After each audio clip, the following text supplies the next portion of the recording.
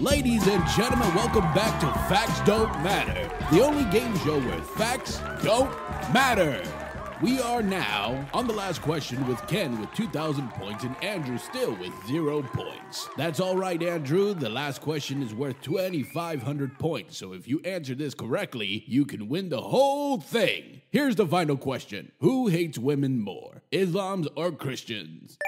Andrew, you buzz first. Uh, Islam uh, is far more misogynistic and anti Semitic than white male Christians.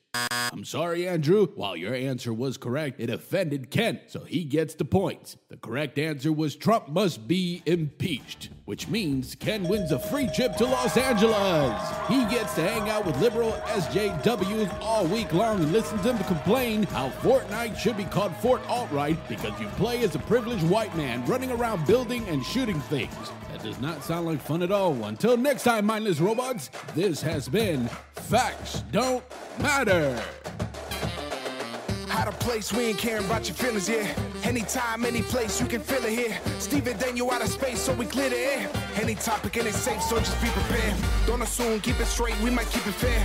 Fuck the news, fuck a page, we gon' keep it real. If you tune in, then you sick for real. Fuck a Bluetooth, we took the red pill. Every image in the video, talk about it. Different views on the subject, we must talk about it. At the end of the day, we just talking, homie. Only me in the room, but it's like a party. Introducing Daniel, author, artist, all around great fucking guy. I don't know about you all, but I'm getting tired of this shit. You know, this 2020 shit. I was looking forward to being able to go outside with other humans without fearing for my life. I went into Barnes Nobles the other day because reading is fucking awesome and saw this ugly looking dude with who I assume was his wife. They were looking through books. They kept approaching where I was standing, and I swear I felt like I was gonna have a heart attack. A whole store to walk around in, but nope, they had to go near me. Those two weren't even wearing masks, and the guy had a cough. I shit you not. My heart started beating faster and faster. I, I mean, I hate wearing those things too, but the pointless things keeps us all at ease, right? But then something happened that I've only seen in movies. I had to decide what I was gonna do quickly. Rather than a devil and an angel appearing on my shoulders, I had Robocop Somewhere there was a crime happening. and the Terminator. Hasta la vista, baby. and they were not advocating for a peaceful resolution of conflict. Thankfully, those two people went on in another direction, possibly to spread their fucking filth somewhere else. Now, 2020 is a fucking horrifying year so far. We've got a plague, which changes our public spaces from places of recreation into places that feel like death traps. I miss Disney like crazy, but even with all this protection and new rules, I still ain't going until maybe next year. There have been human rights violations throughout the US. We also have a president who talked about shooting his own citizens, people he swore to protect is now his fucking cannon fodder. I get what he meant, but the fucker could have said it better. And his opponent's only resolution is violence with a side of more violence. Sometimes I just want to spend all my waking hours in Red Dead Redemption 2 online and ignore the whole world. Sometimes I do that, but the times that I don't are the times that I'm talking to you, lovely folks, and trying to better my situation. What I'm trying to say is that I'm tired of this situation, and it's not just a me thing. This is a everybody's thing. You're fucking tired of this thing. I'm tired of this thing. We're in this together, and that means we've got to take care of each other. Today's touchy topic, we're talking about you being you and not caring about other people's bullshit. Uh, for the fun topic, we are talking about Disney changes in Disney parks and how I agree with the change of the Splash Mountain theme. And we got a whole lot of fun stuff in between. Let's get started. Time to get touchy. Get ready to be triggered. Sensitive topics. Oh, look, they're about to cry. All consent, so we'll see. Nobody likes a snowflake. What is Steven's problem today? I want to talk about you being you. Let's start with what got me wanting to talk about this. The other day, I overheard a conversation at Walmart. These jackasses in football jerseys were making fun of people who watch other people play video games. They made it seem like it was a stupid thing to do. They also said that it was the laziest thing someone could do. And it reminded me of what that used to be funny Jimmy Kimmel guy said about how watching people playing video games is like going to a restaurant and having someone else eat your food. This argument is stupid. People that say this shit don't realize that they do the same thing. They watch people play sports, watch people drive cars. They watch people cook food. They watch people build shit.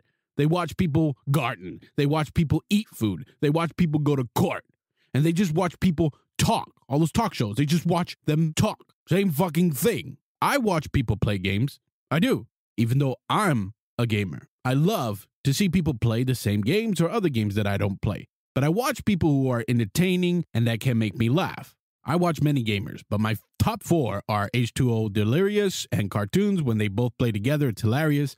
I love watching Hummy's VR comedy. They improv a lot while playing VR games, and they have made me cry laughing several times. I also enjoy Tales of the Grim. It's a Dungeons and Dragons type of game, not a video game, but the players are always fully committed, and I have laughed and cried many times watching them. A couple of days later, I saw a post on Instagram of someone eating a hot dog horizontally. I saw this and I was like, wow, that's different. Never saw somebody eat eat a hot dog like that. I can't do that myself as my beard would get all messy and I hate hearing my wife say, "You got something in your beard." I began getting frustrated at the comments. People were shaming the hot dog eater for eating it differently. Nasty comments that probably made the hot dog eater depressed and hurt or for showing how quirky she was, how different, and had fun with it. But when you read the comments, you just feel bad for her. Days later, I saw this clip on Twitter that said, Was so bored, I watched this. The title of the video was, I Am a Wolf with Naya Akomi. She explains why she is a wolf in a human body and did some wolf stuff in the video. I thought it was weird as fuck, but I was super happy to see people who aren't afraid to do what they love, doing it without fear of judgment. As long as they're happy and she wasn't going around biting people, I didn't care. Today, there are not many people who know how to just let loose and be happy. Too many Karens and Kens out there. But the comments were horrific. I got really frustrated with people who had nothing better to do than to make fun of her. And just last week, I was looking at a newspaper, online newspaper, fuck paper, and I noticed something when reading the headlines and ads. They were telling me how I can change. You know, the, the overall vibe is how can I change other people's mind? And, and, and the more headlines I read, it, was, it kept saying how wrong the world is. Nothing in the newspaper said what was right in the world. And that's when I realized that the world is constantly telling you, uh, telling all of us how we should be instead of being yourself. I said, fuck them. And now I'm talking about it. Many people spend most of their life trying to please everyone. Sometimes it seems right to protect your true self or your thoughts and feelings because there are many stupid, violent people out there that will make it unsafe for you. So you have to be secret on certain things. And it sucks like secretly being a Trump supporter or secretly hating Brie Larson. Some of you follow the trends and hide amongst the mob. You want everyone to be happy. You want people to like you. You do everything you can to please these people, and then what happens? You realize that what you have been doing did not make anybody happy. No matter how hard you tried, you couldn't please others. You became miserable. People around you made you feel like maybe you were an alien from a different planet. You felt alone and depressed many times growing up, I felt like I had been placed with my family as an experiment to see how someone would grow up with people who uh, barely even shared the same language, you know, like the same stuff that I did, think the way I thought. I was so different from my family. Nobody got me, and most still don't. Why do we care so much about other people's opinions? Why do we care what total fucking strangers have to say? Why are we afraid of what other people think? When was the last time you did not do what you wanted to do because you cared more about what other people thought of you? The answer is sad. You probably care more about what others think than you like to admit. I don't know if it's because I'm 34, but I am now much more confident and I don't give seven fucks what other people think about me or if they had a problem with what I had to say. This is why I started the podcast earlier this year and not before. Many people in my life never hesitated to give their negative opinions about me or opinions of how I look. With social media now, people can hide behind a profile and have no problems being cunts and letting their opinions fly like the wind.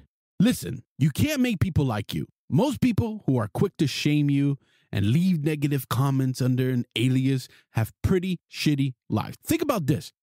Why would someone who is happy and living a great life take the time to do nothing more than be hateful?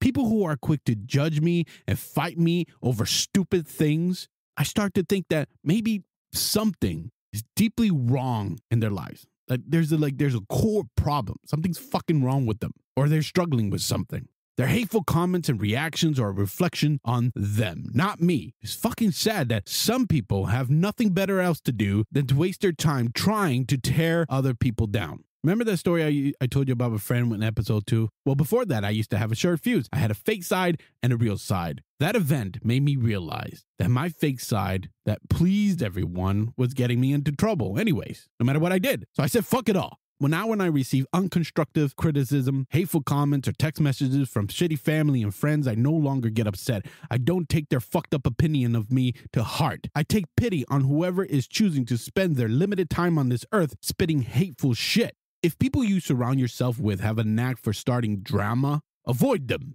If they have a tendency to tear you down, then separate yourself and be rid of those toxic fucking people. If you have a public life on the internet like I do, just laugh off the terrible comments. That's what I do. If it wasn't for, you know, my author career, it wasn't for the podcasting, I would be rid of all social media. I would. You can't stop people from being hateful, but you can choose to ignore them and do something better. Keep in mind that there are going to always be people that are going to dislike you no matter what, and there is nothing you could do about it. Don't waste your time trying to get them to like you or talk to you if they stop talking to you. Spend your time and energy living an awesome life. Use your talents and gifts that God has given you and have fun, damn it. Let other people like you, not because of who you're trying to be, but because who you genuinely are. If you want to live a fantastic life doing what you love, surround yourself with people that are like you. There's a phrase I remember seeing online your vibe attracts your tribe. It means that the only way to attract people like you is to be yourself. If you are pretending to be someone that you are not, you are only surrounding people who have nothing in common with the real you. I deal with this type of shit with my family. I used to be someone I am not so that I don't have to always walk on eggshells. But later on, I realized that no matter what, those people will always see me as the enemy when the real me gets exposed. It just tells me that they just don't like me. Best thing I ever did was say fuck them. I have friends who are more family because they accept me for me. How do you find people like you? First important thing is to be yourself. Do things that you love to do. Are you a gamer? Do you only like playing RPGs? Find other gamers online who play the games you play and play how you play. There are many forums and groups out there. You can find one. Are you a cook? Go to places like Sur La Table and take a fun cooking class to meet others like you. Are you a Disney park fanatic? Of course, you can always talk to me or find an online community like Michael K had made and enjoy Disney news together. You need to break out of the shell and learn how to talk to strangers. This was hard for me growing up. I was always really shy, and it took my father to make me go up to a store clerk or anybody and talk to them. I had to be forced. Being shy and scared of being myself, man, I missed out on many opportunities because I didn't want to get to know people. I wrote people off too quickly. No matter what you're interested in, there is an online community out there filled with like minded folks just waiting to meet you. I've always heard, you know, oh, there's an app for that. There's an app for that. Well, you can say the same thing. There's a community for that. There's a community for that. Where can you find these communities? You can find communities and groups all over online. Look for group pages on social media networks. Look for YouTube channels that cover things that you like. Look through apps like Meetup and look for podcasts that talk about your interests. There's always going to be a group of people that are like you. Once you join these communities, you have to learn to be engaging. Being an active member is what will make it feel like an awesome community. Don't do what you did when you started kindergarten. Don't just stand in the corner and stare at everyone. Introduce yourself and get to know people just like when you started a new job. It just starts with a hello, my name is. Start liking and commenting on posts. Provide your input where you can. You will start enjoying the conversations you were hoping to find. Listeners, another thing that will help is this I want you to get in touch with your inner child. This will help you be you. One of my favorite stories growing up was Peter Pan. Peter Pan is a free spirited, mischievous young boy who can fly and never grows up. When I was a kid, I promised myself to never become a boring adult. I remember my mom walking into my room when I was playing action figures with my little brother. He is seven years younger than me. So we would take all of the action figures, and our room was a huge city. We were also into wrestling, so you best believe I had Spider Man yelling, Do you smell what Spidey is cooking. And he would pin the Undertaker.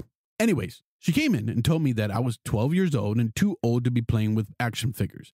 My father, stepmother, mother, stepfather, uncles, aunts, and grandparents did not care for video games. It was something that we had to grow out of. As you know, I never stopped doing that. Still gaming. I'll be 80 years old, but I'll still be playing video games. Today, people like to bring out their Disney nerdom when attending a Disney park or an event like D23, but it wasn't like that when I was a kid. Besides a boring Disney t shirt and maybe a hat, you wouldn't catch adults getting decked out in Disney gear. Now, there are so many options for adults for Disney freaks like me, and I love it.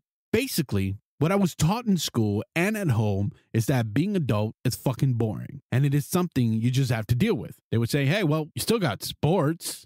I gave everyone a hard time growing up. I refused to grow up, and I but I didn't know when it was time to be an adult. I was friends with young and older folks, and people would say that I have an old soul, that my thinking was beyond my years. I know when to work and when to play. I know when to be serious and when to be silly. No matter how much responsibility I was given, I never got rid of my inner child. You've heard me talk some serious shit. I read the newspaper online. I watch the news. I get overexcited for some new furniture or some kitchen shit. Boring adult shit, yes, but I still play video games when I have alone time. I got an Xbox One X and a PS4 Pro. After I buy the two new consoles coming up this year, I plan on buying the Switch and a good PC so I can play all of the exclusive. Every Sunday, I play with my three boys with video games too. Right now, we're playing Minecraft Dungeons together. I still watch cartoons. I'm currently binge watching The Simpsons since I had only watched a couple of episodes in the 90s. But I love all the adult cartoons like South Park, Rick and Morty, Big Mouth. I also watch cartoons with my kids,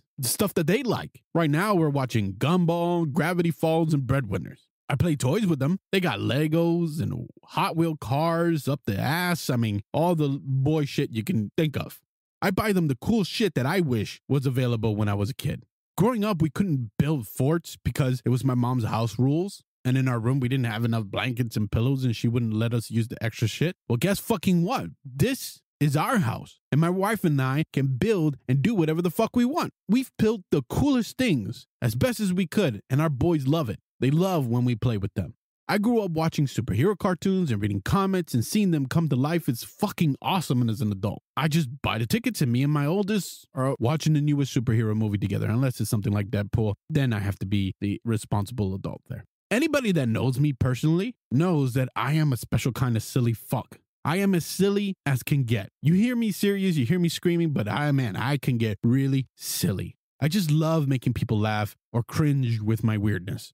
The point that I'm trying to make is that if you're not being bold, like a kid is bold, if you're not doing things that you really want to do, you are not living a fulfillment life. When I watch my boys freak out over bubbles, I am so amazed because they're just excited over something so small. Just like when I heard the ice cream truck growing up. It was an awesome feeling of, of the rush and excitement that everyone got in the house. We didn't care how shitty the ice cream was, it was just all exciting. Just listening to that stupid fucking tune. Embrace your inner child. Bring that shit back into your life. Be creative in writing, drawing, or create shitty music or good music if you're talented.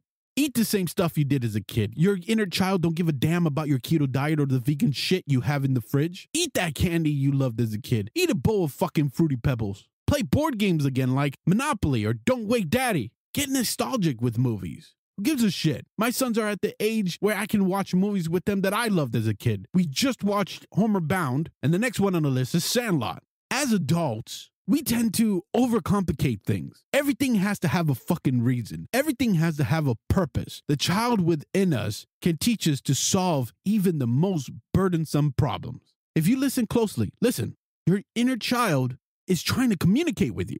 Just fucking listen. Our inner child will never leave us. Most adults forgot about their inner child as they grew older. Listen, your inner child can help you with being yourself. Let's wrap this up. Cue the cheesy music. Why can't you be yourself?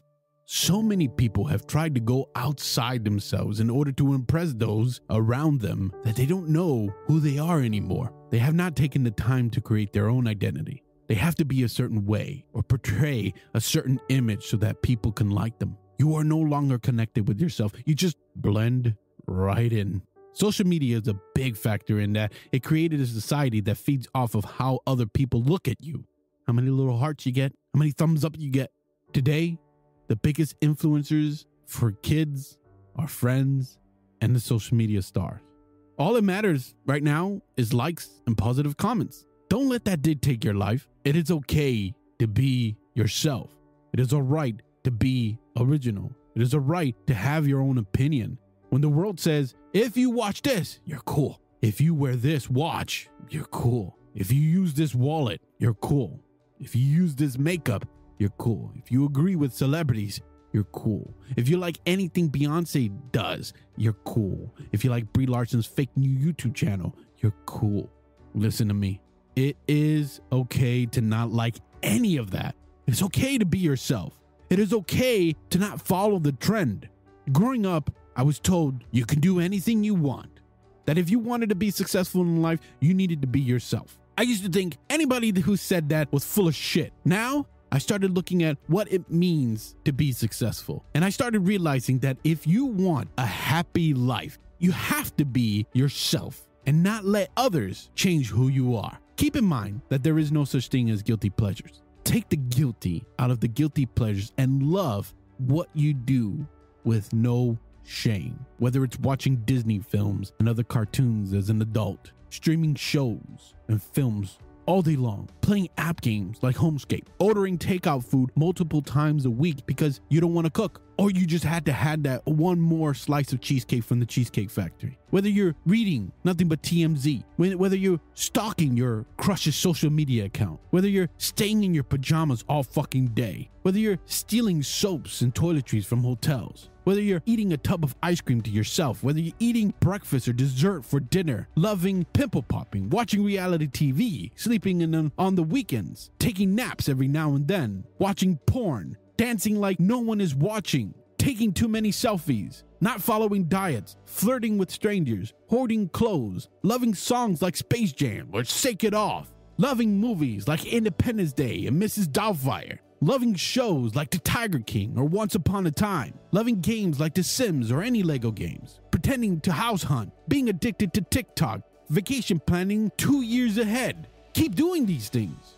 Things that people said that is, you know, those are guilty pleasures. Who gives a fuck? Keep doing things the way you want to do them. Whatever make you happy. I mean, I could go on. Whether you like when you're playing a game and you stop at every light at GTA like I do. Whether you want to have a fucking affair. Whether you're singing in the shower as if you were a star. Whether you want to cosplay and meet with other people who do the same and pretend that you're that fucking person. Who cares? Whether you're treating your pet as children, whether you're putting things on, in, in an online cart and never buying them, whether you're pretending you're in a music video when you've got your headsets on, whether you're staging a fictional conversation, I do this all the fucking time. When you're staging a fictional conversation between you and other people, whether it's family, friends, and enemies, you know, you're practicing an argument in your head. Whether you're just being a fucking wolf or a furry or being an adult baby, no matter what it is, no matter what your quirk is, your sexual fantasies, no matter what it is, you be you. Doesn't matter what others think about your political views. Doesn't matter if your personal life choices, your career goals, your choice of being single, your choice to not having children, how you spend your money, or how you procrastinate. It doesn't matter. You be you. Be you. Do what you like. Doesn't matter. Doesn't fucking matter what other people think. Don't change it to someone else to please others. I learned that the hard way. There are other people that think and act like you. Find them. Today we have access to the internet that has a whole mess of online communities with people that are just like you. If your friends, family, and coworkers don't like you, don't like what you do, or find what you do not interesting or weird, fuck them. I have missed out on many things because I was surrounded by ghetto fucknuts and uptight prissy pricks that I thought I had to be like them.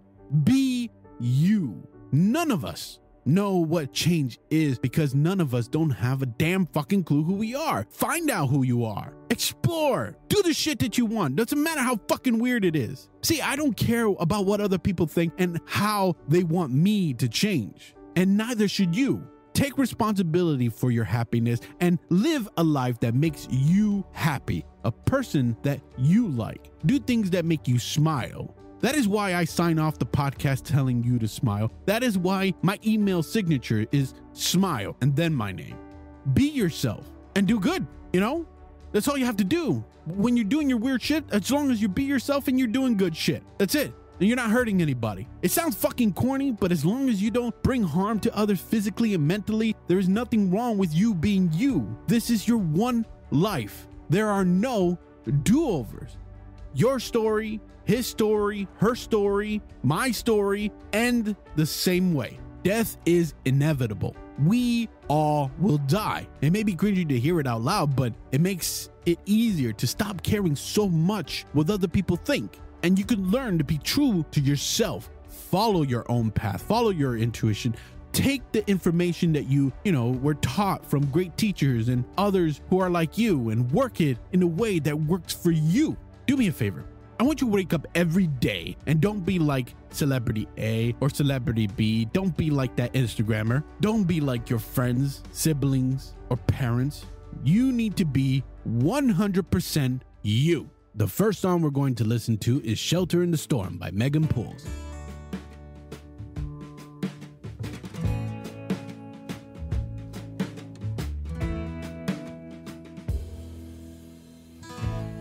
Cold again tonight, but I'm gonna be alright.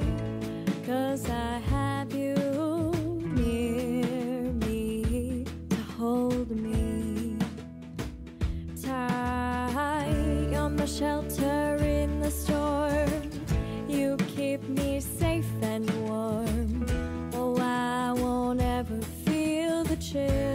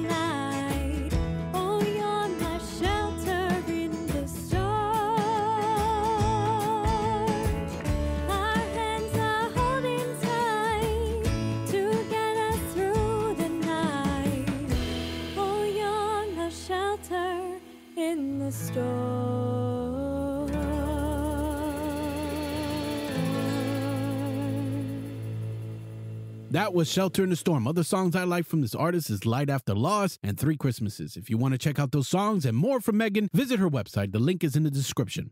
If you like all theme park shit, really long lines, bland food that tastes like your grandmother's armpit, overpriced entry fees, untrained teenage stuff, dangerous rides, and really long lines, well, guess fucking what? Out of Place has got you covered. The latest news for all you fast pass lovers. Here's the Not Another Theme Park News Show. Let me shut the hell up and introduce your host, Britt Nolan. Hi, friends. How's it going? Have you started color coordinating your masks with your shoes? Have you attended a pilot program of an amusement park that's reopened? Did you find out shortly after that some kid working there the same week you attended got plagued with COVID? And then you felt like you were having symptoms? Okay, well, I'm glad most of you are safe. For the rest of you, I hope you don't die. But your immune system says if it's not COVID this year, you'll be sure to get HIV from Winnie the Pooh next year. It's only a matter of time that your kinky theme park escapades will catch up to you.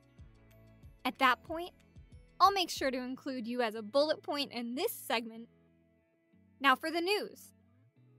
Fuji-Q Highland, located just outside of Tokyo, reopened last month after its virus shutdown. The park asked riders to avoid screaming on the coaster to prevent the spreading of mouth mucus, and instead to scream inside your heart to garner support from the masses. They asked riders to put on their most serious face for the ride photo and share it online in the hashtag Keep a Serious Face challenge. Participants have the chance to earn another park day pass. This challenge is set to end July 17th. So hurry up, or at least go take a look at the photos online if you want to see what a serious man looks like on a coaster. It's brilliant, poetic, and rumored to be the premise of a future coming Shia LaBeouf movie. I'm gonna go ahead and skip to a horror story real quick to keep that theme of international news going. And next time, I hope to have an actual agenda to use going forward versus this sloppy shit pile of random. But don't count on it. In France, a 32 year old lady died at Parc Saint Paul in Oise, France, about 50 miles north of Paris, on Saturday, July 4th. Freedom! She fell from a roller coaster. The fatal incident occurred around 2 p.m. that Independence Day, not celebrated in France, but you know, here in the States. And it occurred on this ride called Formula One. She was pronounced dead at the scene.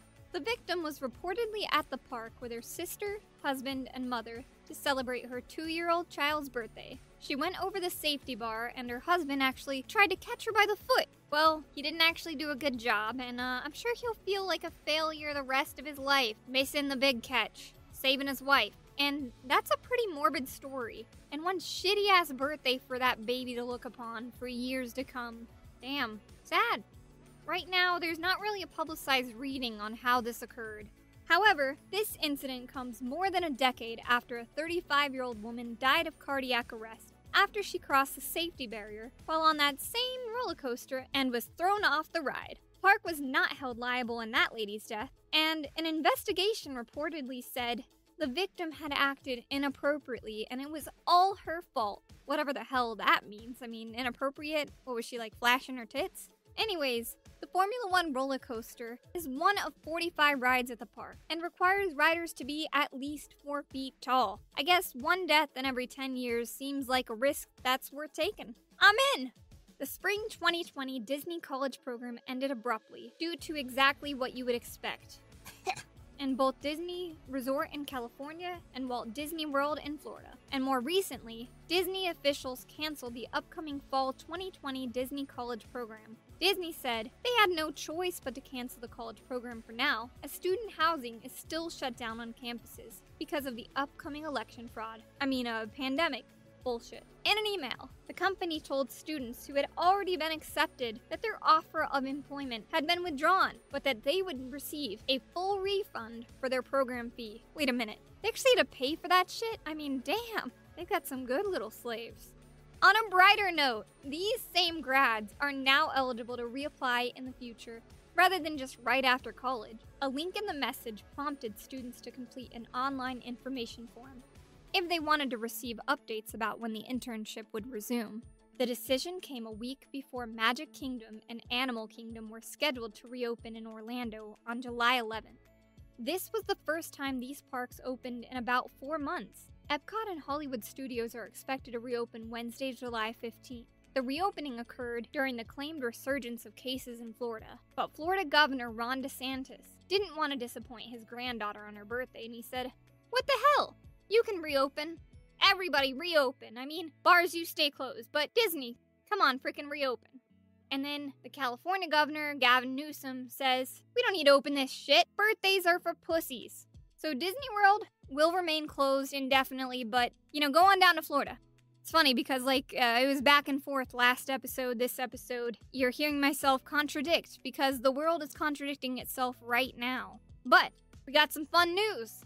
With the reopening at Disney World, Splash Mountain, that racist ride mentioned in last podcast, was actually one of the most popular rides for all those mask wearers. Guess what? You assholes did it. That change.org petition really stirred the pot. And they will be retheming it from Song of the South to The Princess and the Frog. Was it a hit because that crowd wanted to ride in the style of racism one last time? Or was it because it was hot as balls and people just wanted a little splashy splash? I don't know, but it, apparently all the souvenirs are selling out for that shit. So, uh, yeah, if you want to sweat it out, go down to Florida and have your one last time in that theme. Otherwise, it's gonna be the same ride with a freaking frog and a black chick. One of the bright notes about Disney World reopening is that most of the rides had significantly reduced wait times. Flight of Passage, an Avatar themed ride in Animal Kingdom, had only a five minute wait and was said to be closer to a two hour wait pre pandemic. There are many other things to be said about the park's reopening that highlight the downside, but I want to end my Disney talk on a somewhat happy note. You aren't the type of person that needs to cry over no parades, no autograph signings. They're all canceled because, you know, you can't stand near anybody except when you're waiting in line for a ride. Alright, so let's go north north on the map, and we're gonna stop at Grand Island, New York, home of Fantasy Island. This park opened in 1961 and it closed in February 2020 after the park entered a new 15 year lease agreement with Empire Adventures. They shut it down just before it would have been forced to shut down, anyways, with the intent that they would beautify the park grounds. They plan on opening the summer of 2021, with some old rides, some new rides coming out over the next five years, so there's not much to say other than don't blame this park's closing on COVID. It would have closed because of COVID, but not because of this. So uh, shut your bitch mouth. Quit blaming everything on COVID. Sometimes shit happens. I'm just. You could blame that on COVID if you want to. Anyways, there is another theme park that closed that we also can't blame on COVID. Except it did close for COVID, but then it reopened last month. And that is Joyland, located in Lubbock, Texas. On July 9th, a storm occurred that had wind speeds between 80 and 100 miles per hour. People were able to vacate the park safely, except one employee that got injured from falling debris. Even though attendees were okay, park officials must look into fixing the overall park. There was damage to several rides, fallen trees, and collapsed power lines. That will take many days to get the park ready for visitors again. That's right, many freaking days. And the park's owner, David Dean, says he hopes to have the park reopen again by the end of summer, as long as the second wave of COVID doesn't strike. So even though it's supposed to take many days, um, they're gonna just kind of push it off because it's too fucking hot to do the labor. Let's now end this with something that we can blame on COVID, because that is the theme so far since beginning this not another goddamn theme park news segment.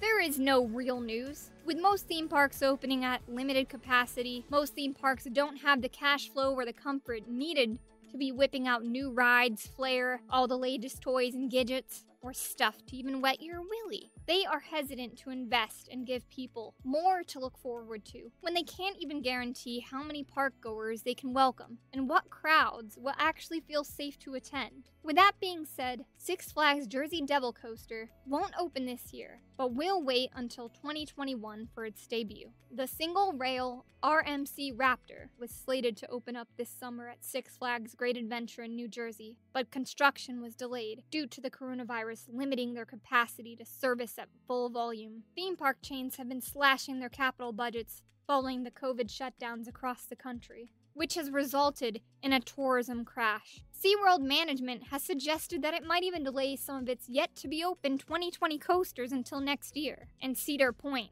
this is the fucking worst one. They will not be having their 150th anniversary celebration on its 150th anniversary. They're planning on postponing it till next year. And they might as well make it 2022 because uh, this shitstorm looks like it's not going away. You know, see how long you can drag it out. Anyways, what are the options? What news can I give other than bad news as usual? This is inevitably what I signed up for. Maybe you will get some news next year when the election's over and people are sick and tired of being sick and tired. Yeah, I copied that from that movie that I can't remember, but I love it. This was recorded in my aunt's dorm room. Ugh, she's got a lot of panties. And I await to tell her the bad news of saying that she cannot be a part of the fall Disney College program, and she will never get to live out her lesbian fantasies of sucking Donald Duck's dick while simultaneously scissoring Daisy Duck in the employee cafeteria. Wish me luck. I hear footsteps coming in now. And thanks for listening to not another goddamn theme park news segment with me, Britt Nolan. Monday, Monday, Monday. It's our third annual Grandma Fighting Championships. Our champion Gertrude the Bulldozer Bennett will be defending her title against newcomer Dorothy Dagger Dick Daniels in a cage match. Thyroid glands won't be the only things acting up. Backs will be thrown out, short old lady hair will be pulled, and exposed saggy titties will be swinging. Come on down and bring the whole family to witness this absolute bloodbath. And while you're here, don't forget to try our dollar tequila shots and our all-you-can-throat hot dog special. GFC title fight Monday! We are not responsible for any injuries, lost items, or erections lasting longer than four hours. Don't be shy. You think about it all the time. You don't have a dirty mind. You just have a sexy imagination. Now, it's time for sex talk. Steven is right about you being you and not being afraid to do so. Let's take that a step further and apply it to couples, specifically sexual fantasies and roleplay. I am not talking about the roleplay you see at Comic Con. No, the roleplay that happens at the hotel room after Comic Con, when your dreams of gagging Princess Leia and making sweet, thunderous love to Thor. Exploring each other's sexual fantasies and role playing can help spice up a relationship when you are tired of the same pillow talk, the same vanilla positions that don't always seem to hit that spot. Sexual fantasies can increase sexual desire and arousal. It can increase the frequency of orgasms and sexual satisfaction. And it helps you with erotic focus, meaning that you won't be thinking about cooking, gaming, errands, or work bullshit. You will only be thinking about what needs to be done. Because once that arousal intensifies, you will automatically forget all about that unimportant shit. If you're worried that when you are on a fantasy adventure, your partner will want to do it in real life, not true, beautiful people. People fantasize about a whole bunch of things. For example, if, I mean, a woman may want their partner to use a little physical force and threats, wanting her partner to coerce her into sexual activity against her will. It doesn't mean she actually wants to be raped. What it means is she wants her partner to take control, to control the situation, to control her pleasure. Sexual fantasies and role playing let people experiment with out of character fantasies without the risk of guilt and harm. Some think that sharing sexual fantasies with your partner is dangerous and scary. Now, I don't know which prude came up with this, Karen, but if you talk to many couples out there who have explored each other's sexual fantasies, they will tell you that sex is 100 times better. The number one tip is to talk about safety, rules, boundaries, safe words, letting your partner know when you're uncomfortable. How do you talk to your partner about sexual fantasies and role playing? The most wonderful thing about sex in general is that the person you are connected with gets to see you in a way that no one else will ever see you. It's a very intimate experience. First, you should figure out how to explain your reasons clearly for sharing your sexual fantasies. Second, make it the right time and place. Don't discuss this while you are cooking or doing chores. Get some alone time where it is only you with no distractions. Also, don't have the discussion in the bedroom. Even though you are talking about things in the bedroom, you don't want distractions. You both start talking about it and then you start fucking, and it's kind of hard to go back to the discussion after you have come on your face or hair or ear. Uh, when exploring sexual fantasies, never mention someone you both know. There will be a fear of your partner acting on it. So that means keeping that hot coworker, brother in law, or your friend's hot girlfriend off limits. Never share with anyone outside of the relationship. And yeah, that even means when you break up. If you have a partner who may be nervous or scared of the topic, it's important to let them know that you love them. Let them know you want to enjoy them in bed and that you want to spice it up a little. Ease into it. Don't go full crazy. And a great way to do this is by talking about sexy scenes in your favorite movies, like the scene, The Kiss in From Hell. Ladies know what I'm talking about. Listen without judgment. Your reaction should not be, uh, that's gross, pervert. There is no fucking way in hell I would let you stick it there. Just take a deep breath and keep in mind that the fantasy is just a fantasy. It doesn't mean that your partner wants to act it out in real life. Don't take it literal. Instead, explore the meaning of the fantasy together. If you don't like a certain sexual fantasy that can be harmful to a relationship, like a threesome, counter it with a part of a fantasy that will please you both. Instead of just refusing to take part in anything at all, both partners need to be willing to compromise.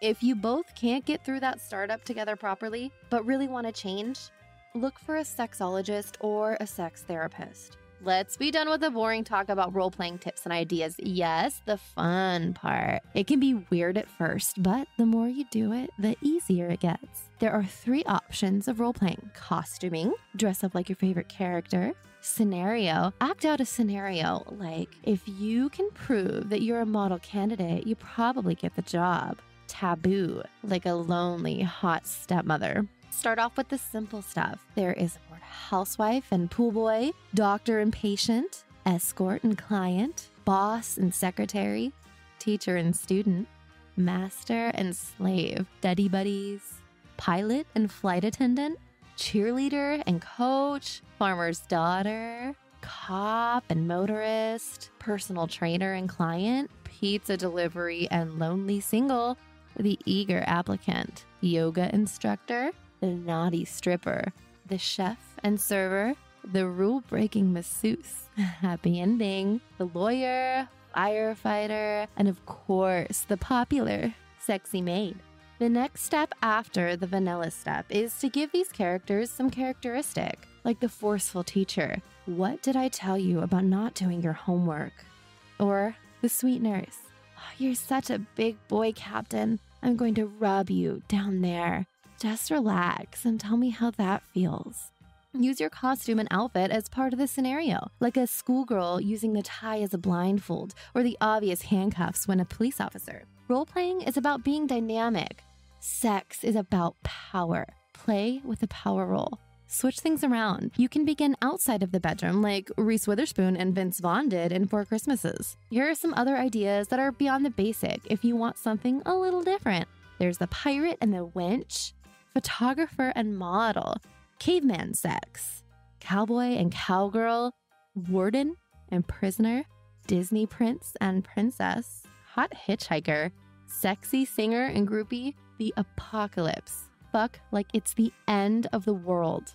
Thor and Loki, literally all of us want that sex scene. Alice and the Mad Hatter, Doc Brown and Marty, Beetlejuice and Lydia, Mary Poppins and Bert, Joker and Harley, Woody and Bo Peep, Peter Pan and Tinkerbell, Spider Man and Wonder Woman, or imagine fucking the mother of dragons. Listen, there are so many possibilities. Have fun with it. Don't be afraid to be crazy, awkward, or weird. You are exploring sexual fantasies with someone that you trust, so nothing can really go weird. That wraps up this segment. I hope you enjoyed the sex talk. I hope you try some of these out. I know I will. If you're interested in contacting me about voice work, send me an email info at rachelreagan.com. Check me out on Casting Call. Tune in next time. Have a great month and get to fucking. The next song we're going to listen to is Romance by Taylor Kirk.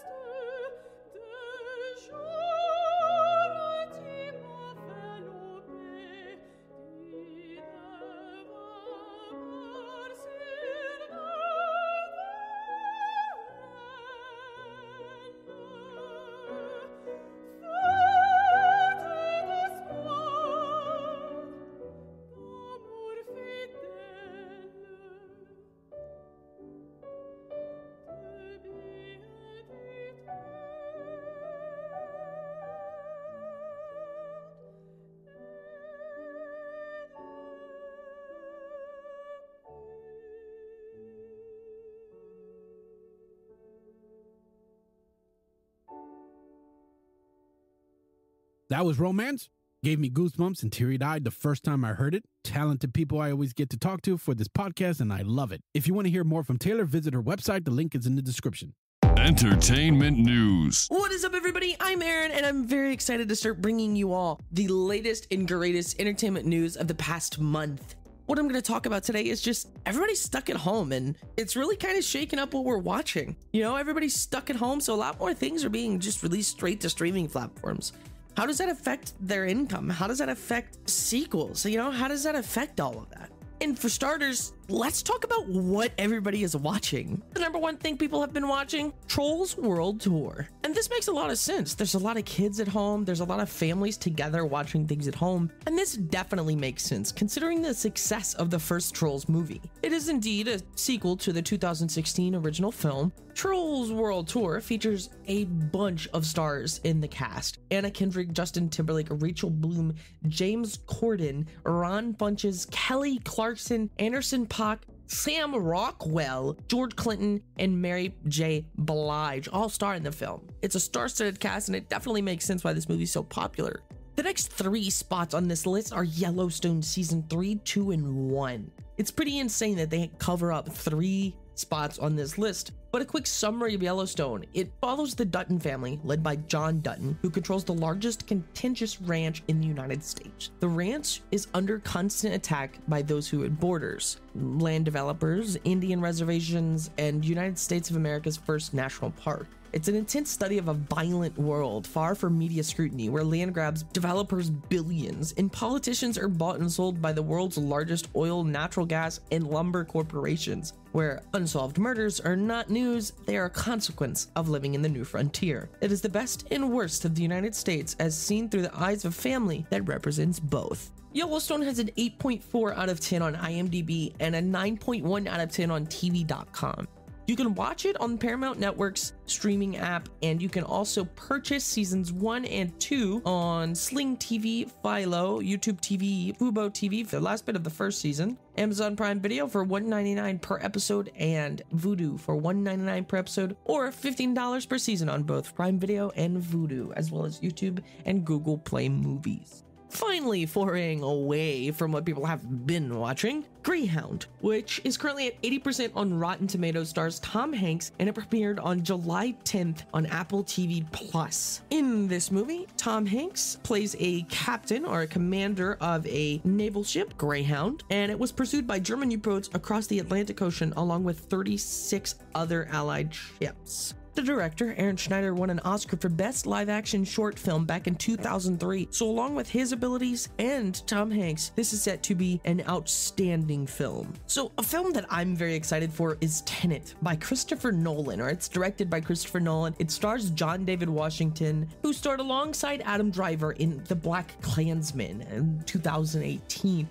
As well as Elizabeth Debicki, Aaron Taylor Johnson, Robert Pattinson, of course, of Twilight fame, Kenneth Branagh, Michael Caine, and Himesh Patel. And while not much is known about Tenet, we do know that it has something to do with John David Washington's spy character preventing World War III and an international espionage plot. It looks incredible. The trailer looks outstanding. I highly recommend you guys go check it out. Tenet is set to release on August 12th, 2020 to theaters. Very excited for that one. And on we go. Look, I know I said I was really excited for Tenet, but I'm also really excited for this one. We didn't get a chance to see it when it was set to release on May 8th, 2020. The personal history of David Copperfield. It stars Dev Patel of Lion fame, Peter Capaldi, Aneurin Barnard, Ben Whishaw, Tilda Swinton, Hugh Laurie, Gwendoline Christie, and Benedict Wong. It's a reimagining of that Charles Dickens novel told through a comedic lens by Armando Lanucci. And you might recognize that name from HBO's Veep. To close out the movies, I'm just going to talk about the final four that are set to release next month in August. Mulan, which is set on August 21st. It was originally supposed to premiere July 24th. That one's going to be a big one. Antebellum, which is set to release on August 21st, 2020. Bill and Ted Face the Music. That's going to be really exciting. The New Mutants, which is set on 28th of August 2020. Now, touching up on the New Mutants, it doesn't look like even though Fox is now owned by Disney, that the New Mutants, although it is an X-Men film, is going to be a part of the MCU. Looks like it's completely separate from the MCU, the Marvel Cinematic Universe, that is. So there's something I want to do every monthly segment. I want to give you guys five shows to watch, whether they're on Netflix, Hulu, or some sort of other streaming platform. I want to recommend them and you guys should go check them out. First off, I'm just going to clarify Taika Waititi is probably my favorite director of all time. His ability to blend in serious topics and also make them funny is incredible for me, and he just speaks from his heart. I really connect with that. The first film I'm going to recommend is Jojo Rabbit. It gives a unique perspective on what was going on during World War II as a child in World War II in Germany. It's kind of insane. You guys should go check it out. It's funny. It's also really deep and it's really heartwarming. Go check it out. It's a great film. Segueing off of that, I should also recommend to you guys What We Do in the Shadows. It's also from Taika Waititi, but also Jermaine Clement. They make a wonderful team and it is a documentary well i should say mockumentary which is just a comedic satirical take on a documentary about vampires in new zealand living in modern times. It follows viago deacon and vladislav who are finding that modern life as vampires is a little bit to deal with. The mundane like paying rent keeping up with the chore wheel trying to get into nightclubs and overcoming flatmate conflicts. It's a great film. Definitely go check that one out as well. What we do in the shadows was actually spun off as a TV show on Hulu. I'd say you can watch the show without having seen the movie, but it's just adds on to the experience. You're going to get a little bit of references and some cameos if you watch the film first. You can, however, watch that show on Hulu for free with a subscription. They just finished up their second season, got renewed for a third season. A great, funny show. Definitely go check that one out. Trying to keep my recommendations this episode kind of simple, not anything unique or niche. So my final two recommendations would be for you guys to watch Futurama on Hulu, one of my all-time favorite cartoons, and on Netflix, I would say check out Queer Eye, one of the most wholesome shows I've ever seen. It's great. It's really heartwarming. You might cry a little bit. You might not. I'm kind of a baby, so I cried a little bit. On their fifth season right now. Go check it out. It's a great show. It'll make you smile, make you laugh, and will most likely make you cry. And with that, I closed my first ever entertainment news segment. I'm very excited to be a part of this, and I'm really looking forward to being able to bring you guys a little more in depth entertainment news for the whole month of July through August. I'm really looking forward to getting you guys better content, better news next month. Please have a wonderful day, stay safe, and remember, you're awesome. Hola! Are you a fan of Mexican food? Of course you are. Everybody is. Everybody loves a good taco, or a good burrito, or a good quesadilla. And you can get a pretty good one of these things in a lot of places. But where's the place with the best tacos, the best burritos, and the best quesadillas? It's at Taco Babos! That's right, Taco Babos is the king, El Rey de Burrito. Taco Quesadillas. But wait, wait, not only that, not only is Taco Babos the best for all traditional Mexican food, it is the only place, the one and the only place that serves the world famous Chupacabra! That's right, chupacabra, a massive Mexican meal of meat and cheese slathered in a red hot sauce. De chupacabra! Six kinds of queso and 11 kinds of meat. All of them good. Wrapped in four tortillas. And the sauce, the red sauce by itself, is worth climbing a border wall to get it. The chupacabra is a whopping five pounds of food in a two-handed delivery system. And the only place you can get the chupacabra is at Taco Bubbles. You come to Taco Bubbles. You tell them the Pedro sent you. South of the border, Taco Bubbles. Find the chupacabra to come today. Taco Bubbles. Taco Babos is a wholly owned subsidiary of Flat Incorporated. Filling in again this month for the gaming segment. First news PlayStation Hong Kong store fucked up by leaking Far Cry 6. It apparently posted the game way too early. I am one of those people that love the Far Cry series. I love every single one of them and look forward to playing the new one after each release. My favorite so far has been the fifth one. Before Far Cry 5, I've had always wanted them to do something in the States and to change it up from, you know, the island shit, and they delivered. And the DLC was amazing. That's how you do a DLC. If you're getting a PS5 later this year, uh, you will be getting a free upgrade to the next version if you buy it on the PlayStation 4 first. The same has not been confirmed for the Xbox One yet, but we'll see because of the whole smart delivery feature shit. Tom Holland showed off his new Nathan Drake look for the Uncharted movie. I am excited for this. I was late in playing the Uncharted series before the PS4 Pro. I had a PS2 and I hadn't played any games since then. But in 2018, I got a PS4 Pro and I was able to play the Uncharted series back to back. And after playing the, that series, I was like, they need to make a show or a movie. And I think Tom Holland will be awesome as Nathan Drake. WWE 2K Battlegrounds trailer was released the other day, and I just have to say, what the fuck was that? Nope, just nope, nope, nope, no. I read that Xbox is interested in taking over WB Games. It was funny to see PlayStation people complain like crazy, but they don't they forget that many Xbox people missed out on the incredible Spider-Man game. Not me, I had both, but many people don't have both consoles. So I love the idea because I have an Xbox Game Pass, so I will be able to play the new releases. So of course, my bias says yes.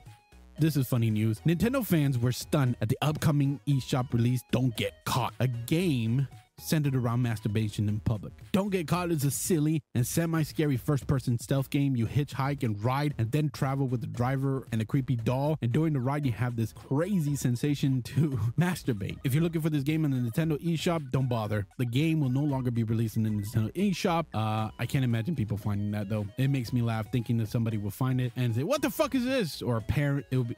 I, I just think of that and I, I think it was hilarious. Xbox head Phil Spencer's, who I think should be replaced, says that making games for both Xbox One and the next gen console won't hold back the Xbox Series X. Xbox gamers were starting to freak out because Sony is focusing entirely on the PS5 and making exclusive games that are optimized to run on their latest and greatest console. Uh, Microsoft is telling the, its studios to ensure that all of their games remain compatible with the Xbox One, even as they make games for the Xbox Series X totally accurate uh, battle simulator is finally getting a release date. It has been in early access for a while now. The first time I saw this game was watching H2O Delirious and Cartoonz play. I have played it myself and it's very hilarious to play. Looking forward to the full game. Sony is investing $250 million in Epic Games. I guess that's why we saw the Unreal Engine 5 tech demo running on the PS5.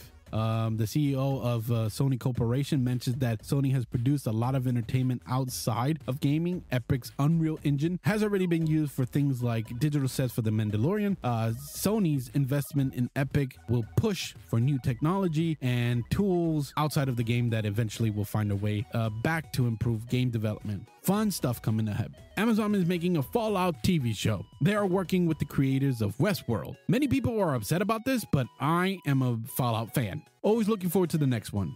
Uh, I haven't played Fallout 76 because I wanted the game to be fixed. I heard it was shit. I'm glad I didn't pre order it. I was broke at the time to pre order it, and I'm glad I didn't because it's shit. I remember playing Fallout New Vegas and thought Fallout would be a great show, but we have to wait until the technology is badass. I think it's time because after watching Underwater with Kristen Stewart and saw their underwater suits, I was like, it's time.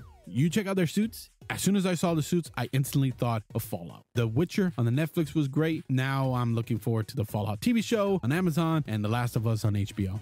Speaking of The Last of Us, let's talk about Last of Us 2.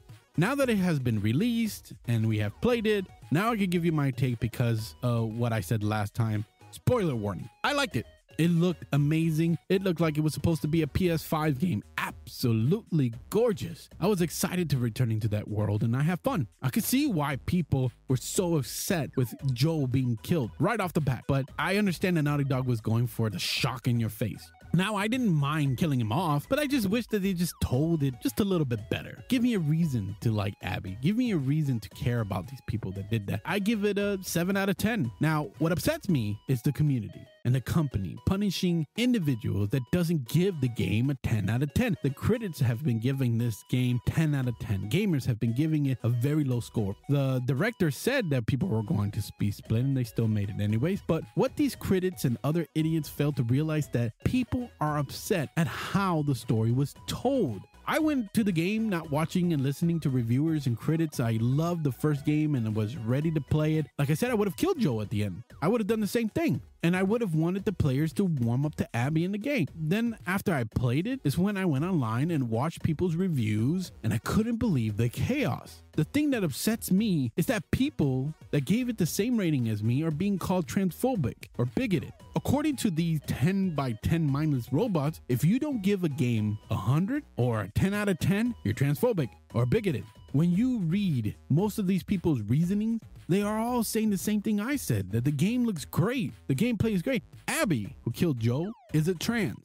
And it didn't bother me one bit. I actually like playing Abby. She was more badass than playing Ellie. I don't know. I like playing Abby. She kicked ass. But like I said, I wish I got to know Abby and everybody else just a little bit better. And I just didn't care for them. I do like where they were trying to go. I do like the shock value. I love how Naughty Dog went there. But instead of defending their choices, everything is now you're either transphobic or sellout. It's like I told you last month about the Snyder Cut. When you give people power like this, they will get nasty. I'm still going to be playing The Last of Us 3 and all the DLC that comes with 2. I liked it.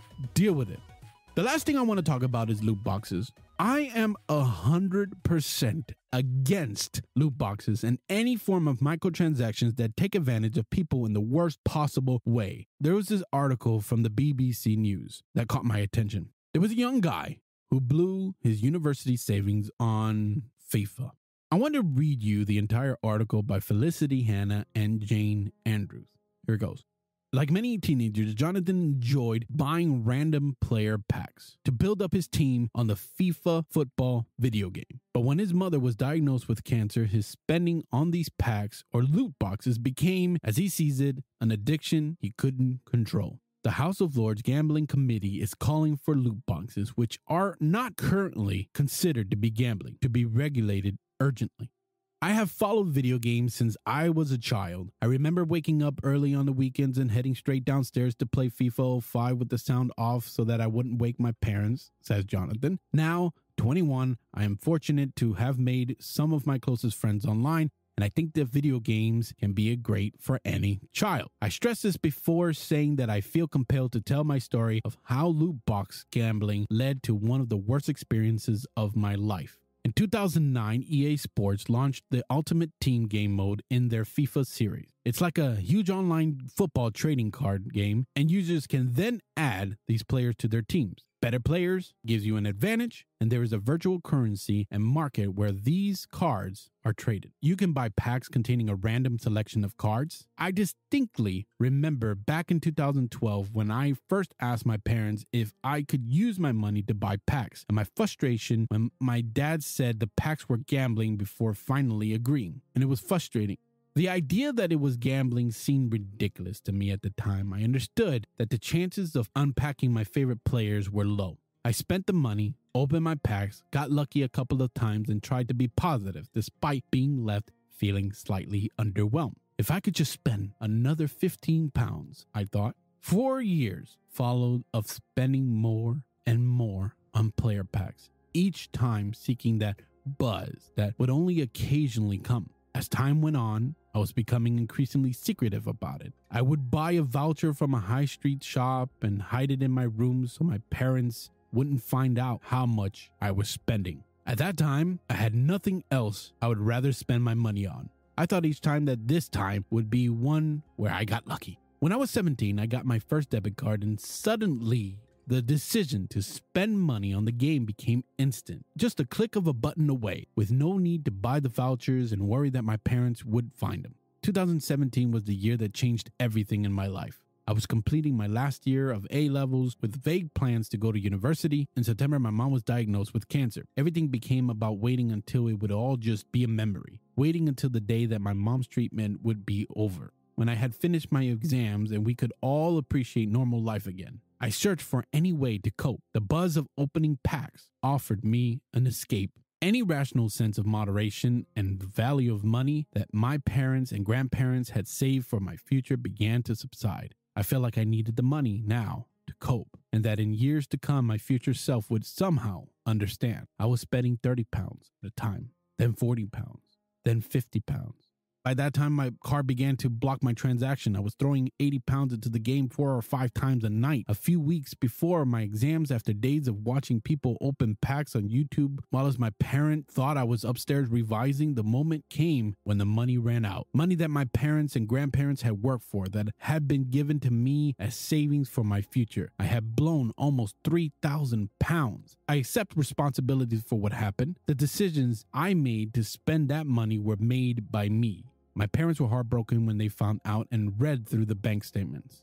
Looking back at what happened, one of the things that sticks out to me is how my spending was going on without my family knowing. We had family rules with restrictions on gaming time, so there was no lack of parental regulation, and I frequently told my concerned parents that I was not addicted to video games themselves. I stand by that now, but I was addicted to the buzz of chance when I bought packs. I agree now with what my dad said that so angered me back in 2012. Video game packs and loot boxes are a form of gambling. With the House of Lords Gambling Committee calling for randomized reward purchases like these to be urgently regulated under gambling laws, I want to do what I can to educate and protect other people from going through an experience like mine. I owe it to my teenage self and to others who would regret spending money on loot boxes to do what I can to end what is utter exploitation. The makers of FIFA, EA Sports,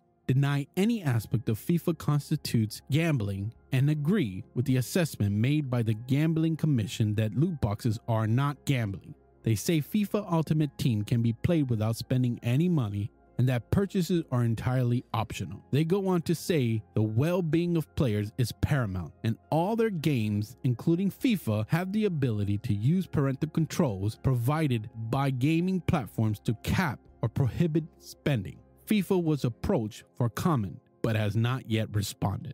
That's the end of the article. Before I say what I have to say about loot boxes and shitty microtransactions, check out what EA thinks of loot boxes. They think it's ethical. Do you consider loot boxes to be a, an, an ethical feature of your games? Kerry? Well, first, we don't call them loot boxes. I think that was a- Whatever term but- you wish to apply yeah, to them, so- do you so- consider them ethical? So what we look at as as surprise mechanics.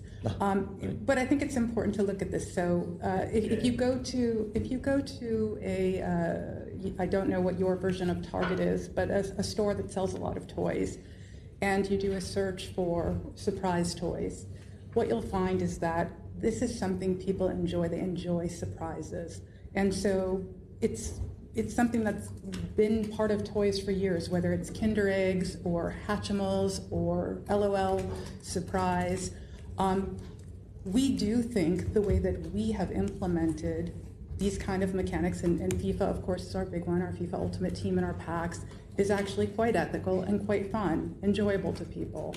Um, we agree with the UK Gambling Commission, the Australian Gambling Commission, and many other gambling commissions that they aren't gambling. And we also disagree that there's evidence that shows it leads to gambling. Instead, we think it's like many other products that people enjoy in a very healthy way uh, and like the element of surprise.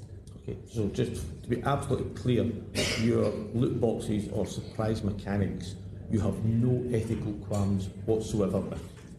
Uh, so I, I think you're recharacterizing my language. What I said is I think the way we've implemented our FIFA Ultimate Team packs is ethical. Okay, other than FIFA and, and other games that you provide, do you have? Are you, are you equally comfortable and relaxed about? For all of the games we have on the market that have a randomized content mechanic, a surprise mechanic, a loot box, um, I, I have no qualms that they are implemented in an unethical way. fucking surprise mechanics. This is what the chair of the House of Gambling Committee had to say about loot boxes over there in the UK. Most people who gamble enjoy it safely. However, gambling related harm has made the lives of 2 million people miserable. It leads to hundreds of people each year taking their own lives leaving family and friends devastated. The behavior of some gaming operators where vulnerable people were targeted with inducements to continue gambling when the operators knew they could not afford to shocked the committee. Urgent action by the government is required. Lax regulation of the gambling industry must be replaced by a more robust and focused regimen which prioritize the welfare of gamblers ahead of the industry profits. That's what they said. The Lord say that the loot boxes should be classified as games of chance, which would bring them under the Gambling Act of 2005. They also have said that if a product looks like gambling and feels like gambling, it should be regulated as gambling. Listen, so loot boxes has been controversial in games for a while now. They offer players a chance at randomized reward when open. The boxes can often be bought for real money, and the rewards can sometimes be traded. Now, many people, especially non gamers, will look at this guy and be like, he's a fucking idiot. He should have known better. What you don't understand is that these loot boxes are designed to exploit certain people that have the need to spend because of that dopamine the chemical in your fucking brain that makes you want to do this shit that, that, that gets you addicted when they make it colorful and fun with fucking confetti and certain sound effects. What pisses me off is not grown fuckers that purchase these things.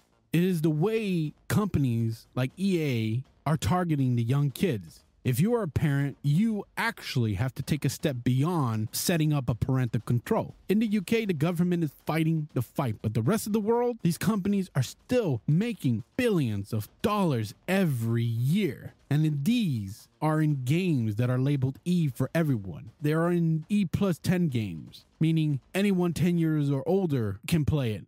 And they're also in T for teens. No warning, no nothing. So, if you are a parent who just look at the rating and think you did a good job, you have to pay attention because no matter what, your kid will find a way to use these loot boxes or microtransactions. I have a family member where the little dude spends every money he gets for microtransactions because of the addiction. It's not right the way these companies go after kids. This is how they make their money. Players get that rush with the possibility of getting something cool. When you don't get what you want, you get a little disappointed. But the one time you do get it, it feels great. Don't fall for that shit. And if you have kids, don't let them fall for that shit. I don't give a fuck if an adult man spends their fucking money on Madden games doing that stupid shit. I don't give a fuck if an adult woman spends her fucking money on cooking madness when she's playing it on the iPad. What I mind is when all these fucking companies target kids. Take Fortnite, for example. You got the Llama Pinatas. You buy it, and a fucking digital candy pops out with stupid shit. Oh, but Steven, kids don't have to buy these things. Well, guess what? I have a young family member who spends all his damn money on these fucking games. Birthday money, Christmas money, allowance. Nine years old. And also explain this if you think that they're not targeting kids. Why the fuck is that same llama in the toy section at Target? Not in the gaming section, not in the men's section, not in the women's section. It's in the toy section next to Buzz Lightyear and Pokemon toys. And you know what's inside that stupid fucking pinata? You got stickers and tattoo and real fucking confetti and candy. That's it. What y'all need to do is speak up about this shit. Don't let these fuckers win and get your representative involved. Get the government involved. Share the story or other people's story that went through this. Talk about it to people. Do you have to. Just say no to loot boxes. Just as I'm recording this, I had to take a break before moving on to record the fun topic. On my break, I saw this funny video of Angry Joe flipping out over a dumb microtransaction from Valorant. This is the shit I'm talking about. Fucking loot boxes and greedy microtransactions. It had me laughing so hard, so I'm going to play the clip as the last thing for the gaming news. And you got to and that's from the, that was the first one that you put. And the second one is a fucking bunny. You're doing this on purpose to me. You're trying to kill me, Valorant. Don't you fucking buy this shit. Don't none of you buy this shit.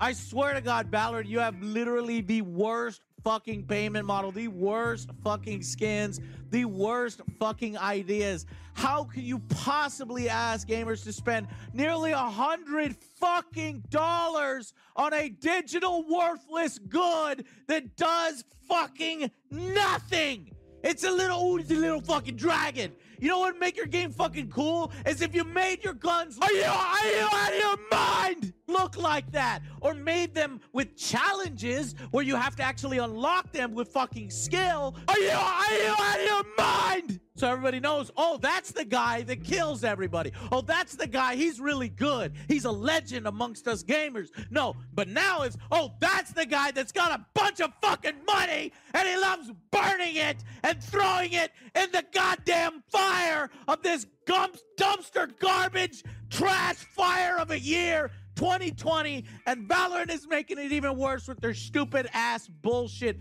Don't buy fucking shit from Valorant. Don't. Or we cannot be friends. The last song we're going to hear is Bell View by Machine. At 7 p.m., we'll be serving milk and cookies. Enjoy your stay.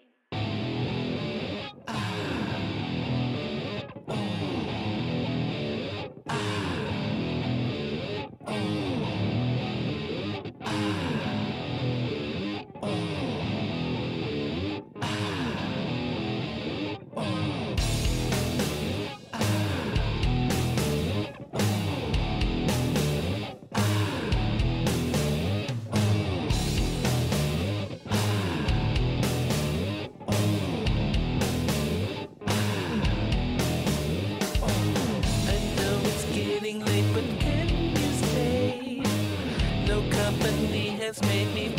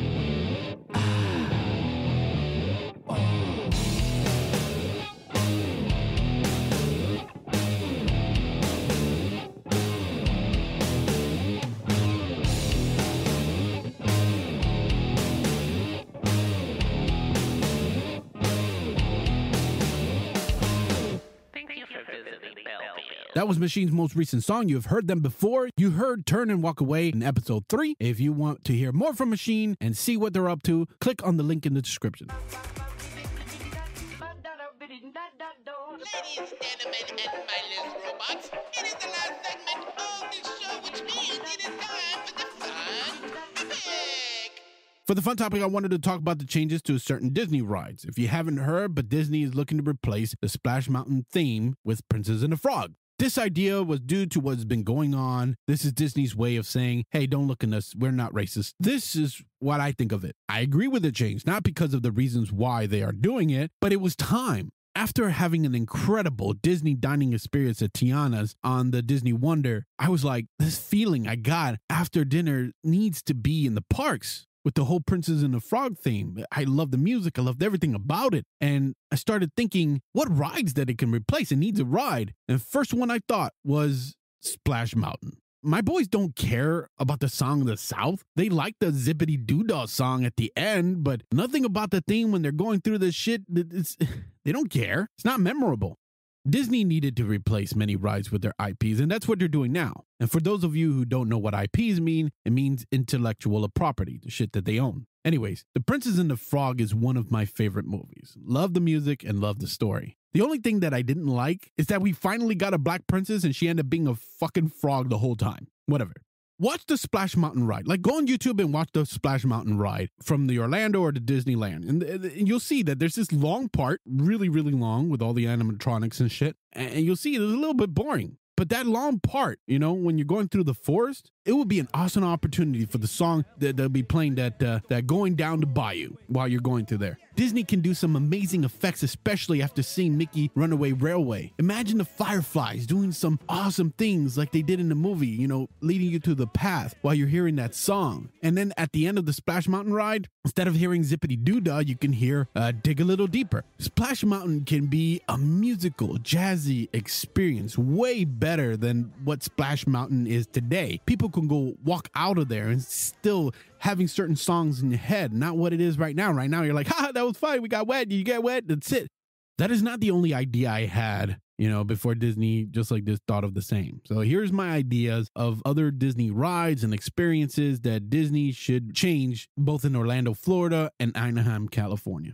Let's start with the Magic Kingdom. Now, many rides I will mention is also in Disneyland. You know, they're almost identical, so it can apply there too. So I won't be mentioning uh, Disneyland. First one is a treehouse in Adventureland. People don't really care for the Swiss Family Treehouse and the Jungle Cruise. It's fucking boring. People like them, you know, old people like them, and kids like climbing the shit, and little kids like going to Jungle Cruise. But I don't care if The Rock and Emily Blunt is doing a Jungle Cruise movie. I think it's a waste of space. I don't care how old this shit is. I don't. It's boring. But right in front of the Jungle Cruise is an Aladdin ride, a little carpet thing that's like Dumbo. Imagine turning the whole Jungle Cruise area.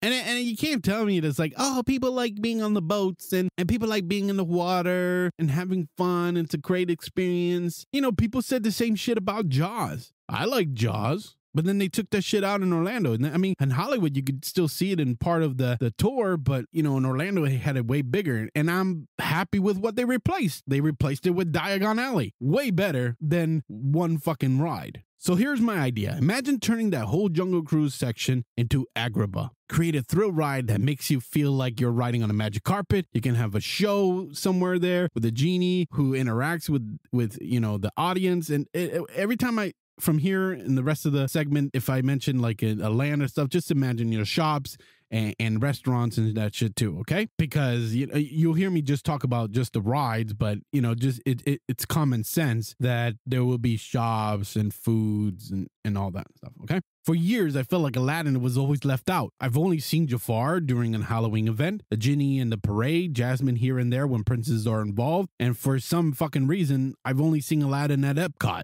Uh, let's move on to Tom Sawyer Island, another big waste of space. The, another reason, you know, they keep it there because, you know, it's been there from the beginning. I think it's a waste of space. I think that Disney should create a new IP that takes place in the Wild West with another thrill ride that is similar to what Knott's Berry Farm has. Go online and check out Knott's Berry Farm's Pony Express. Very fun ride. Something like that is way better than a ferry ride in Tom Sawyer fucking Island.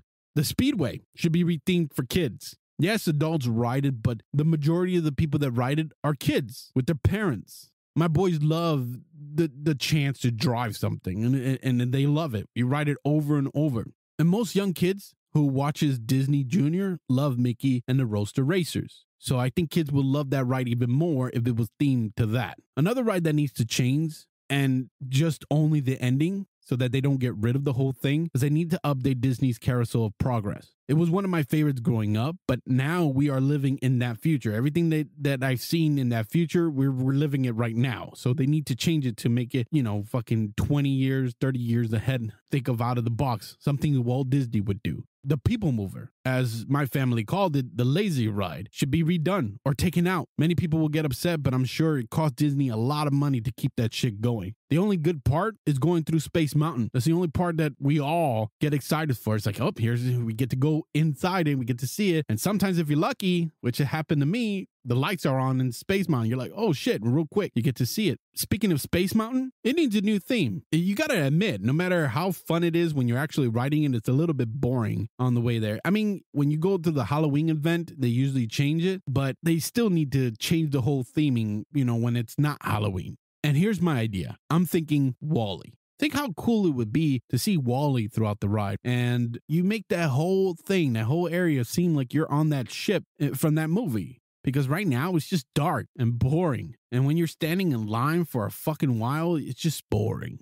Uh, another thing that they need to change in Magic Kingdom. Uh, this ride is also in DCA. PhilharMagic. Filler Magic is one of my favorites. But if they want lines again, because every time I go, even in the busiest times, it's like a 10 minute, 15 minute wait. That's it. Not many people are doing it. And I love it. And I feel like it's they're going to be taking it away. But they need to update the songs. Take me to Princess and the Frog. Take me through Tangled and Frozen. There's a lot of new songs since that show debuted. A lot of new songs that we most of the little kids would prefer. Let's move on to Epcot.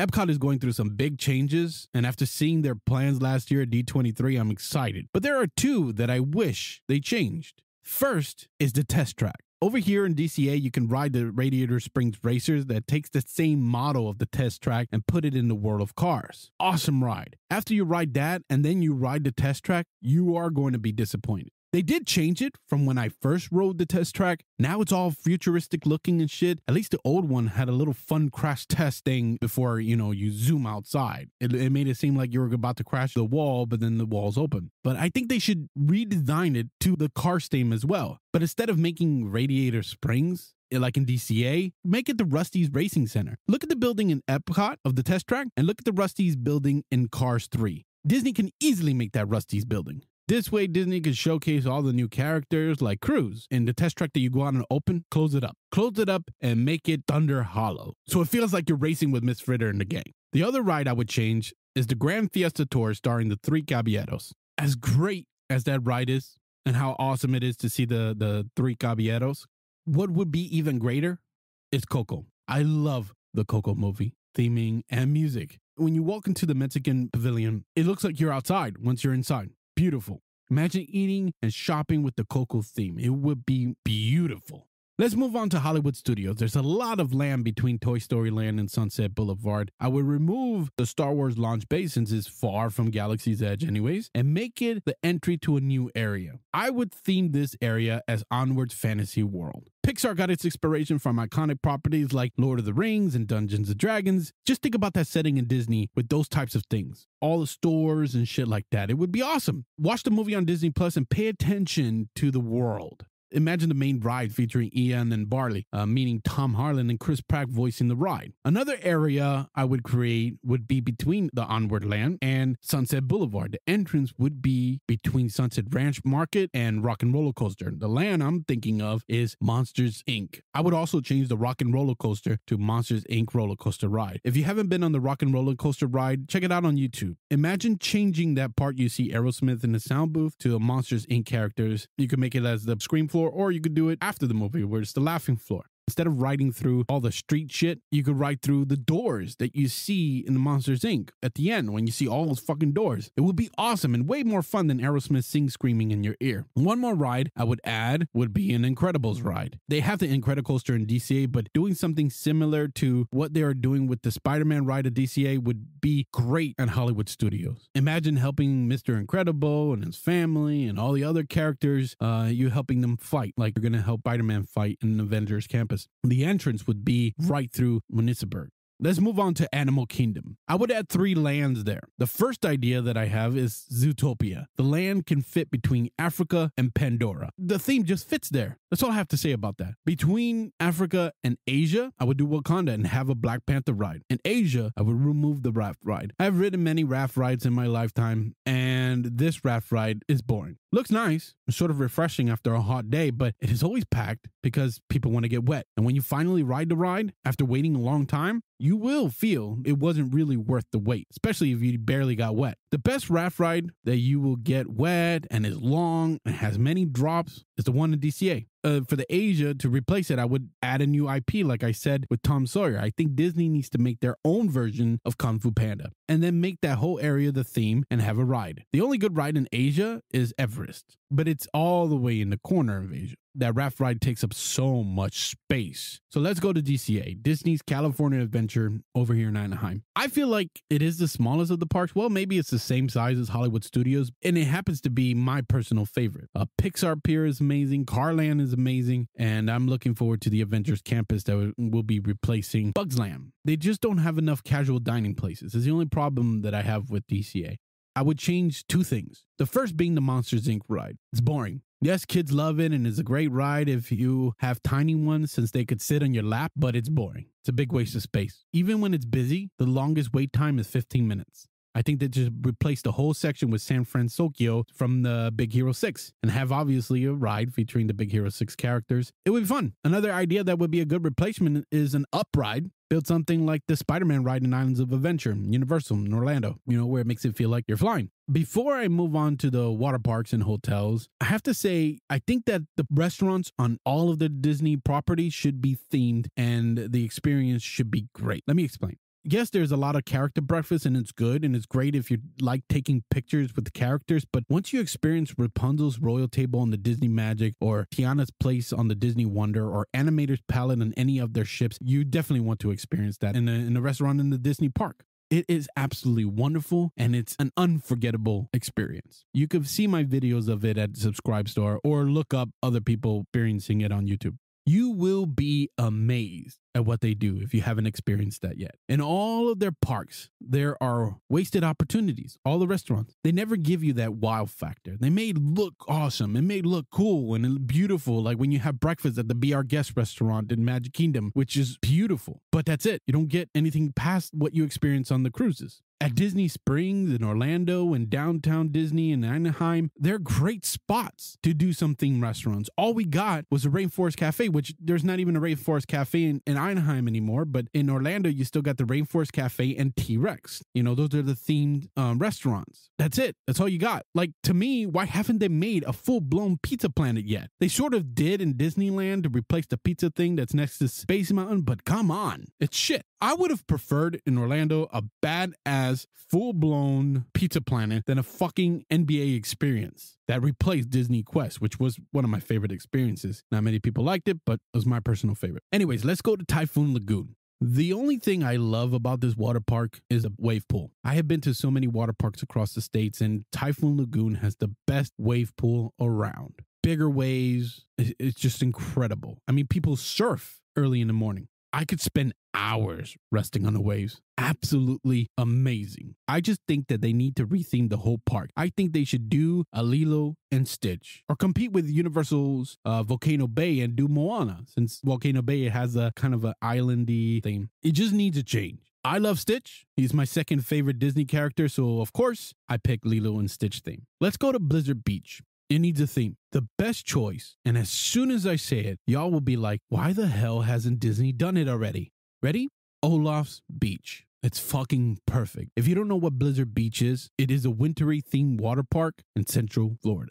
Olaf loving summer and is a snowman? I mean, come on. That tall drop ride can be Elsa's tower. Changing the whole thing to frozen theme setting in Florida would be amazing. I don't know why they haven't done it yet. Let's go on to hotels. There's a lot of retheming that Disney has to do with their resorts. Another thing that I don't understand why Disney haven't gotten it yet. I get not going crazy with the expensive ones like the Grand Californian or the Riviera because the rich folks don't really like anything too crazy, but there are some resorts that I think can do with some nice retheming. In California, I think the hotels are perfect. I just wish that there was a quicker entrance to the parks from the Paradise Pier Hotel than to having to walk past Disneyland Hotel and walk from the end of downtown Disney all the way to the park entrance. You could see the Incredicoaster from the hotel lobby or the parking lot, but you have to walk all the way around to get in. It needs some type of bridge, some type of underground entrance, or something. In Orlando, there are resorts that need help.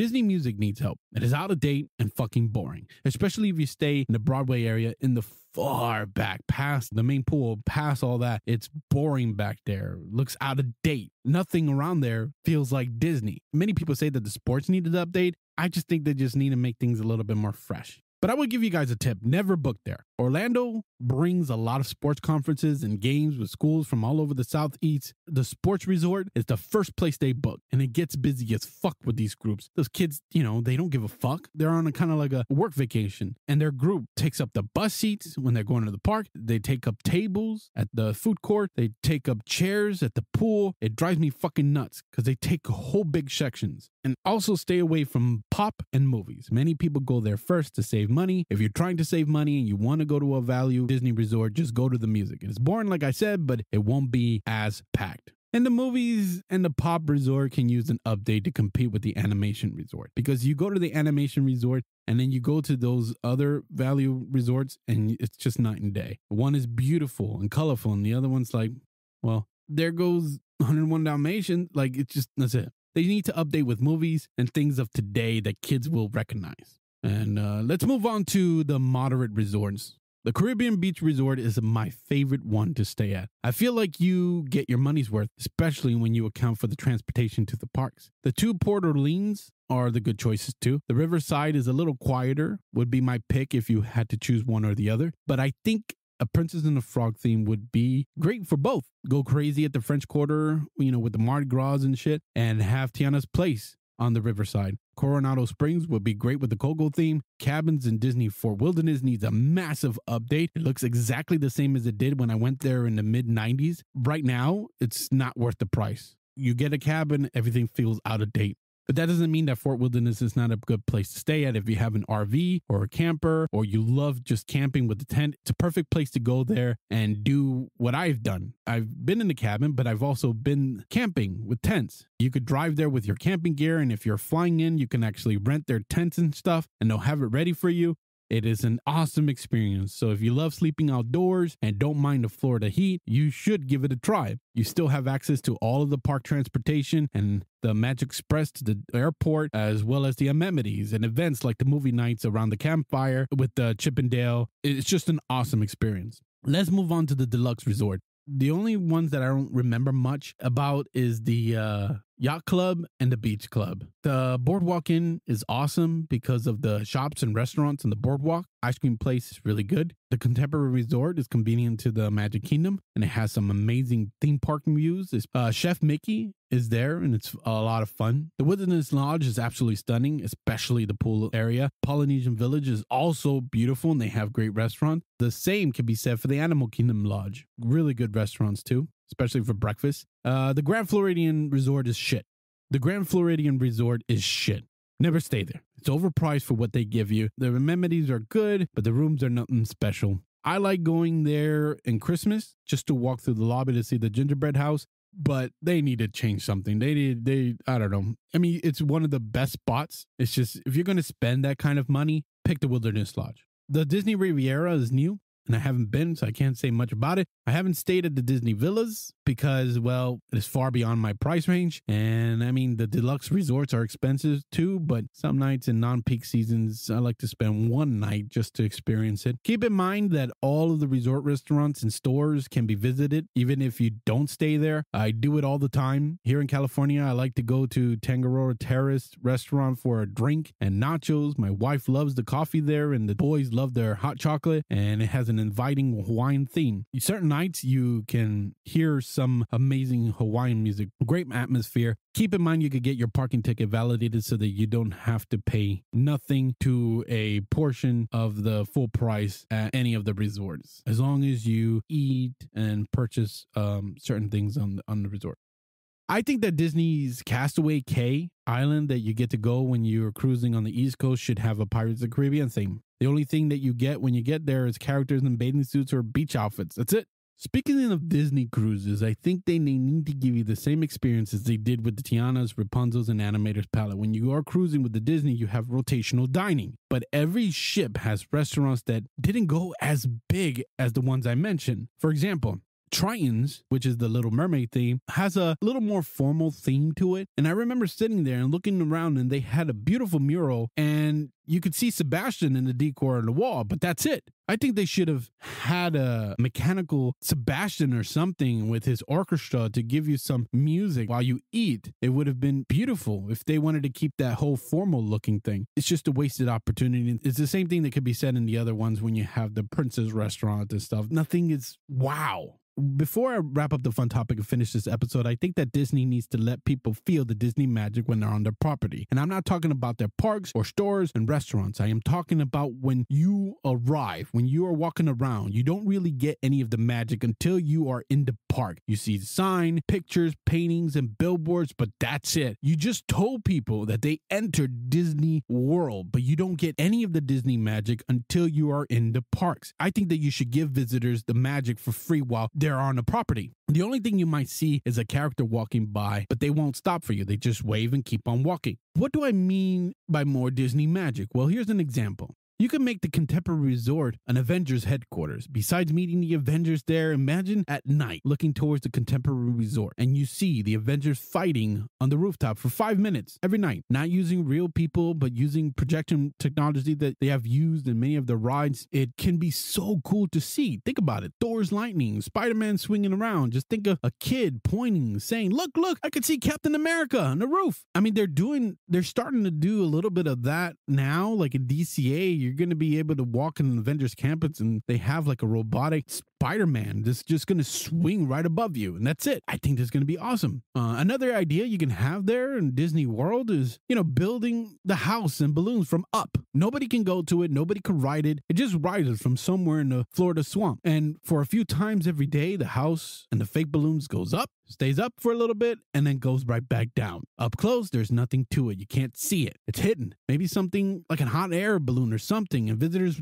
like I said, won't be able to find it when they're trying to drive around, look for it. They won't be able to. They don't know where it came from. I mean, they know the area because, you know, you use common sense, but you can't get to it. Imagine a view from the resort to a visitor. That's an awesome Easter egg, you know, worth looking out for when you're like, oh, look at the up house just floating up there. That's the type of magic I'm talking about. That's what they should do. There's so many things that Disney can do in all of their Disney properties across the world to make people feel the magic before they get into the park. And I just feel like people, especially kids, should feel that magic right away. I feel like they shouldn't have to wait until they get into the park to feel a certain magic or a ride. Sometimes, sometimes you get in the park right away, you don't get that magic. You get it when you're riding a ride, like the newest Star Wars ride. As you can see, I'm a huge Disney fan. Growing up, we used to live about two and a half hours south of Orlando, and many people were able to fly here, fly there, vacation here, vacation there, and it was just cheaper for us to go to Orlando, stay at a decent hotel on International Drive or somewhere else in Kissimmee, and stick to a reasonable food budget. As a kid, I didn't care. Me and my siblings didn't care if we had McDonald's at the hotel. We didn't care. All we cared is that we were in Orlando, going to Disney, Universal, SeaWorld. That's that's all we cared. It was always a quick trip. We went there in one night, went to the park the next night, and the third day we came back. It was always quick. It was cheaper to do that. So I was very blessed and fortunate to be able to go to to Orlando. So I've been to these parks so many times and living here in California, me and my wife take the kids all the time here. And I missed Orlando. And Orlando is way better. In my personal opinion, Orlando is way better. Uh, you get a better Disney experience here. It's great for visiting D23. It's great for DCA because you'll get some of these rides like Cars Land is nowhere in Orlando. So you get that experience. And Avenger Campus soon will be the only one here. Anyways, if you're like me, let me know and we can share stories and, and talk Disney. I'm always for it. Okay. So let's wrap up this episode. If you really like Out of Place, I mean, really like it, can't wait for the next episode like it, I need your help. You know, I'm all about triggering mindless robots. They are now starting to rate the podcast with one star. Don't let them win. Go to iTunes and give it a rating. Takes only a couple of seconds. And if you give this podcast a review on there or any platform you're listening to this on, you can share it with me and you will be able to get to choose what I talk about in the next touchy or fun topic. The next thing I want to talk about is Subscribestar, the whole $1 a month thing that I keep talking about. I decided that I wanted to do something different. Yes, it would be nice to use the money for the show and for selfish reasons, better mics, and blah, blah, blah, blah. But I decided how cool it would be to do what many of us has done at school or at work. You know when you have a potluck or something, you pay, you know, something for the food and you and it gets added to the end of the year Christmas party or when you were in high school and all of the money from the dumb events all year long went to the senior prom, the more money that was made, the more badass the event was. What if the money at the end of the year, if it is enough, we get to hang out at Disney or something? Could be a party. We could hang out at a theme park, a cruise. You know what? Let's do this. When the time comes to start planning, we will do a drawing. Yeah, let's do a drawing. One person will win $150 and we will bring that party to the person's city. The money will be used to bring myself and the out of place crew to that city. We could rent a space, more than likely a hotel with good security. We'll just have a big party and we'll set up a live show. That person who won gets to hang out with us the whole fucking time and be a part of the live show. So basically, the money is for a huge party for all of us. Tell me what you think on Facebook or Twitter. Comment on the posts you see when I'm talking about this episode. Let me know if you like the idea or maybe you have a better idea. I just want the money to go where we're just all hanging out at least once a year. And depending on the money, maybe it'll be, you know, every other, I, I don't know. I've also noticed that the out of place community is growing. I just wanted to do something that brings us all together. Um, I want to also get better at communicating with you guys. So comment or message me privately and I will respond as quickly as I could. I fucking love you guys. You all always make my day with the most kindliest words. It gets me excited to bring the next episode. Thank you for listening to Out of Place episode 6. If anything I said in this episode offended you in any way, I don't give a damn and a half. Cry in the comments, cry on social media, cry to your mommy, male person, or anybody that will listen to a sensitive snowflake. Just know and understand that no one cares. Want to show off an original or cover song? Have a serious or silly question? Or just want to do some business? You can contact me by filling out the contact form at stevendanielbook.com or find me on social media. To my listeners who made it to the end, I love and appreciate you. Goodbye, and always remember to smile.